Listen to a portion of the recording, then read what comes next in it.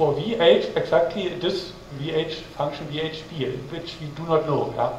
But we know that it exists, but we do not know how it look like actually.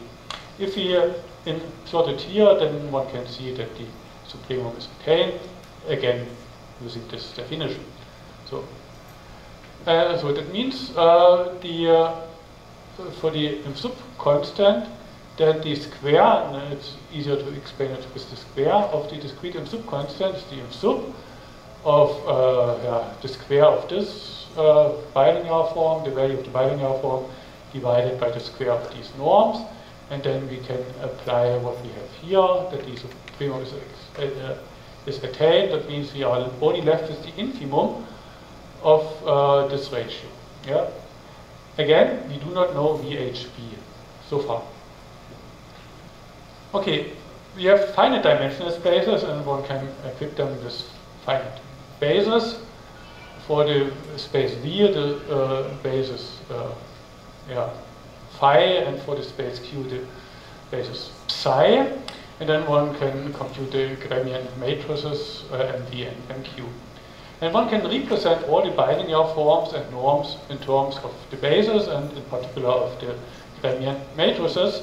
So that means here this bilinear form is, can be just written in this way, this bilinear form in this way, and this norm just in this way. From the Riesz representation theorem, this was the uh, formula here from the, the other slide over here.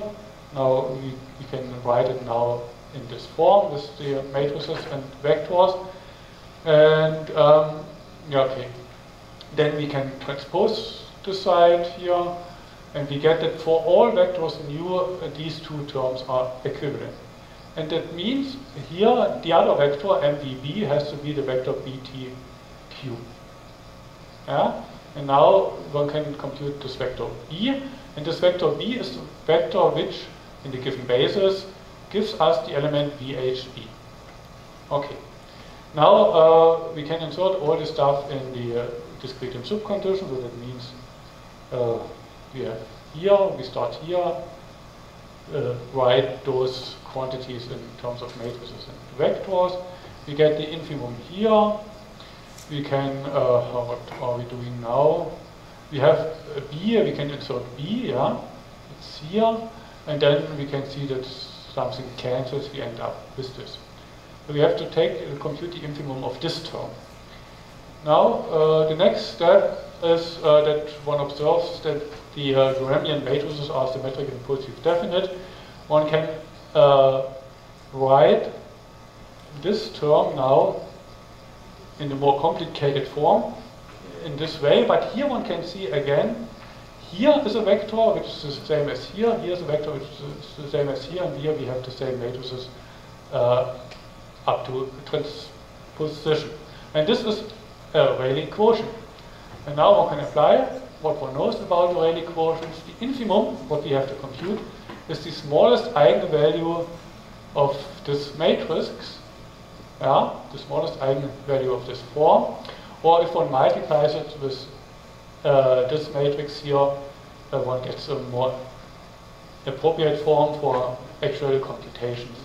And one has to solve this uh, generalized eigenvalue problem in order then to get the discrete inf-sup constant. Yeah, and the square root of the smallest eigenvalue of this uh, generalized eigenvalue problem is then the discrete inf-sup constant.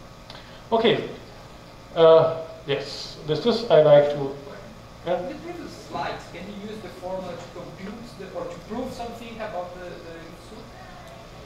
Or uh, a bad idea? Um, uh, I don't know of uh, if one can prove something. Again, I think again the the uh, difficulty is here. One has also to prove uh, that the inf-sup constant does not depend on the mesh width or on the dimension of the matrices. I don't know whether something like this can be done here. Yeah? I have not seen it so far.